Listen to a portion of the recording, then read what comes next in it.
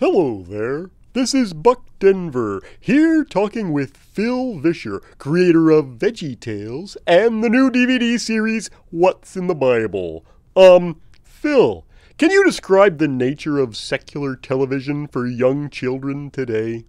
TV for young kids today has really changed a lot, especially since I was a kid. But even when my kids were kids, about 20 years ago, uh, there was basically for preschool shows, there was PBS and you had Mr. Rogers, you had uh, Barney had just started, and Sesame Street. Uh, today, it's a whole different world. They've got you know Cartoon Network, they've got the Disney Channel, uh, they've got Nickelodeon, 24/7 with great original shows around the clock. Also, though, these shows in general, while there are some that parents might find objectionable, for the most part, these shows they have consultants, educational consultants, and they're pro-social and they're pro-environment, and they teach recycling, and they generally try to model pretty good behavior. What concerns me about the world that we've created for our kids, you know, on Nickelodeon, on the Disney Channel, is that it's a world where you can be a good person without any need for God.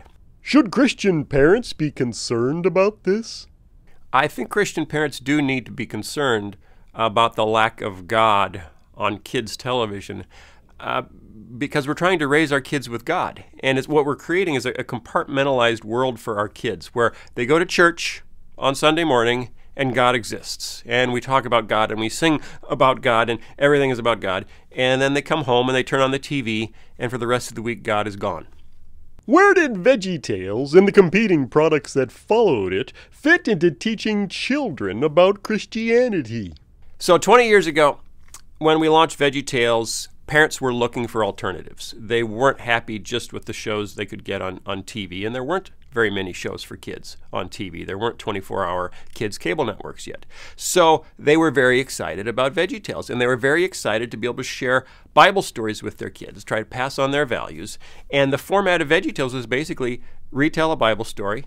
Uh, wrap it up with a verse and pull a value out of it, a Christian lesson about thankfulness or kindness or forgiveness or, or you name it. And parents were ecstatic about that. But after about 10 years of writing VeggieTales, I started to look back and think, wait a minute, am I trying to convince kids to behave Christianly without actually teaching them Christianity? And that was kind of a big question for me to wrestle with. I mean, I was I was trying to convince kids, oh, we need to be more thankful, we need to be more forgiving, we need to be more kind. What I wasn't doing was explaining what's the role of the Holy Spirit in helping you to be more thankful, forgiving, and kind? And why can I be forgiving? Has God forgiven me? If so, from what and why? Mm. So I became very concerned that uh, kids needed more than just stories, that we were reducing the Bible to a collection of, of folk tales rather than a worldview, rather than a belief system that changes how you look at everything. Why do so many teens leave the church when they go to college? So as I was wrestling with this, with, with how we seem to be teaching Bible stories but not the Bible, I started to look at some of the research.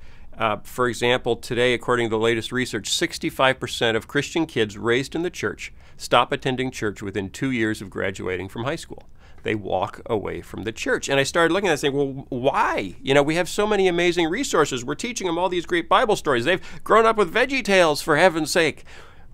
Why are they walking away? And I became more and more concerned. It's because they really don't understand how Christianity changes your life. And that's something that, to be quite honest, we never taught in Veggie Tales. And we taught about thankfulness and, and, forgiveness and kindness. And you know, we taught Christian values. We didn't teach Christianity. And I was kind of shocked when I realized that. I was like, good heavens, we're losing them because they don't know their faith. They know stories. Where does what's in the Bible fit into teaching young families? So, to keep kids from walking away from their faith, uh, to try to explain their faith more deeply, I realized I needed a new uh, Veggie Tales, if you will. I needed to start with a clean piece of paper and say, okay, how do we teach not just Christian values, but Christianity? How do we explain not just Bible stories, but the story of the Bible? How do we do that in an entertaining way um, that can engage a whole family, not just kids, because some of their parents need to hear it too, or at least be reminded about it again? How can we do that in such an entertaining way that kids will prefer it to Hannah Montana uh, to High School Musical, that they'll actually sit down and learn their theology in a really fun, engaging way so that there's no way they could reach adulthood and not understand what it means to be a Christian and, what, and how a Christian worldview completely changes how you look at your life. That's what's in the Bible. Why are you using puppets instead of high tech animation? Here's the deal. When we started uh, 20 years ago with Veggie Tales, I mean, I was a computer animator. Uh, most kids had never seen computer animation before. So I could do the most simple, rudimentary computer animation, which is really what Veggie Tales was, about the simplest thing I could come up with. Um, and kids would say, Oh, that's so cool. You know, this was five years before Toy Story, the first Pixar movie. So it was a very simple time and it was relatively easy to do very low budget, simple computer animation and get kids' attention. So I went back to my childhood. I, I made my first animated film when I was eight. Um, but before then, I started playing with puppets when I was about six. And uh, my two big influences creatively were Walt Disney and Jim Henson. So I thought, okay, well, maybe it's time to pull out the Jim Henson thing. What if, you know, Sesame Street and the Muppet Show combined for the purpose of teaching Sunday school, of taking kids to seminary? What would that be like? And it is a whole lot of fun.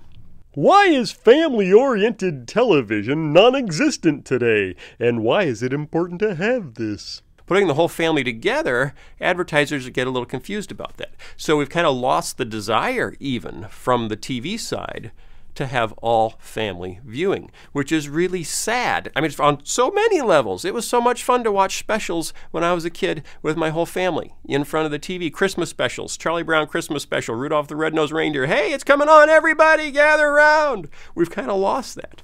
Um, I wanted to bring it back and particularly because we're doing something that's so educational and so important to Christian families. If I can create a show where a whole family is really motivated to sit down and watch it together, I'm teaching the whole family. Everybody is learning the same thing at the same time, and the parents can then help their kids understand it. They can discuss it around the table, uh, and that's, I think, there's a huge benefit in bringing families back together around the TV to learn something together. What have you got coming out this fall?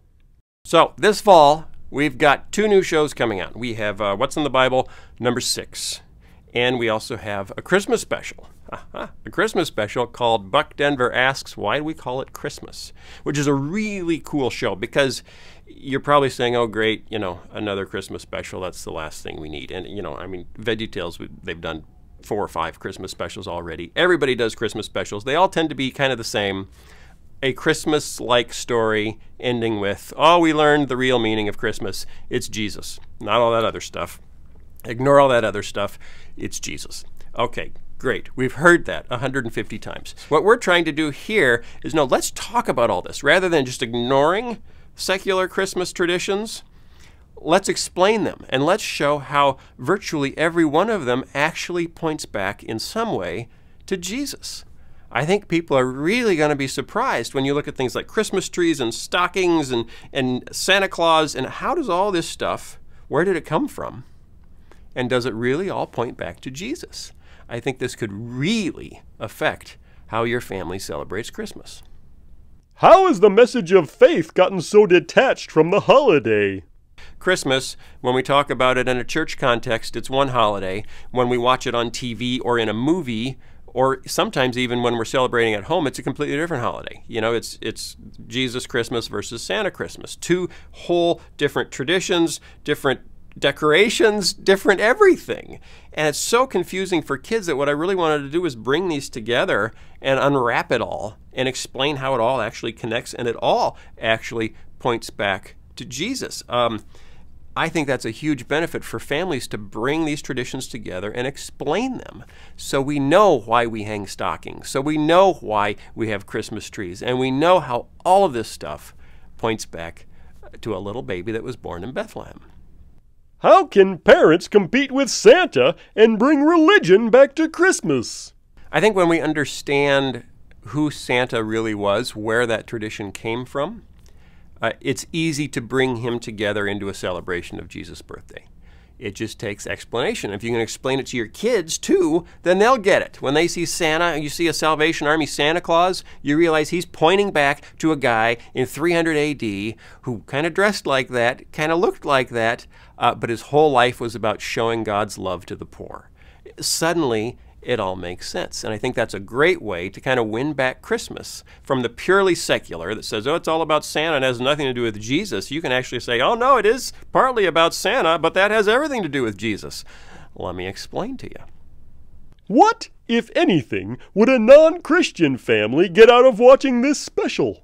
Actually, it could be very interesting for non Christian families to watch this episode, our Christmas special, because you're going to learn all sorts of things about the history of Christmas how we got it, why it's in the shape it's in, and, and how all these traditions uh, fit together, how they were all created. I think there's lots in there that everyone will find interesting.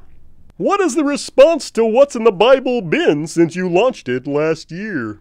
The response to What's in the Bible has really been amazing because no one has ever seen a series like this. You know, this is the Muppets going to seminary. This this is just it's amazingly educational. Probably the biggest reaction is even from parents, even from grad students at Christian colleges. I can't believe how much I learned about the Bible. And it was so much fun to learn it. I mean, if we can do that, if we can make learning about the Bible fun, if we can make bringing uh, knowledge of our faith uh, to life in a fun way, we can change the next generation. And we need a generation of Christian kids that know their faith and know what it looks like to live it out before the eyes of a watching world. We need something like what's in the Bible to help do that. If there's one message you'd like to get across to parents about what's in the Bible, what would it be? Learning the Bible doesn't need to be that hard. Uh, we've really made it out to be, you know, oh, you're going to have to go to college, you're going to have to go to seminary. Well, actually, if you're not going into the ministry, probably shouldn't even try. It's just too hard. It's not.